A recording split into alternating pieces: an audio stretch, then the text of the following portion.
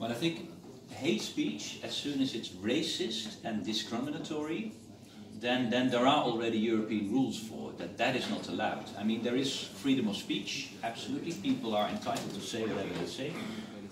But hate speech is not allowed. So racism and uh, xenophobia, that's not allowed. So there are rules, but you're absolutely right. One of the problems is on the internet. Uh, and here we come in a dilemma. I mean, this is, this is we have the discussions, eh? as Ron has said, we are very much concerned about, uh, well, some of the, well, we do know that there is quite often also, for example, Russia is interfering in, in, our, in our elections. As Bronner said, with Brexit, there are very clear ideas that there has been interference. But the problem is how to regulate it. Because freedom of internet is also important, but you need to regulate it at a certain level. I think the most important one here is transparency.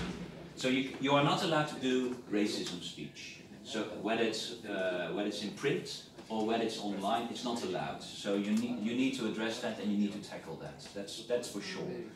But how to, I mean, much of this propaganda is much more subtle, of course. And that's, that's, it's not, I mean, you can't make a rule where you say you're not allowed to lie because mm. who's judging on that?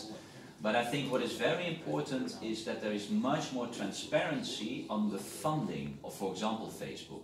And that's really one of those, those demands we have put on them, that, that they are becoming much clearer on, on who pays for the advertisements. Because that has been one of the problems. You have no idea who is doing it, where it comes from, and I think there we should be much tougher on, on, on companies like Facebook, and this is also one of the debates we have.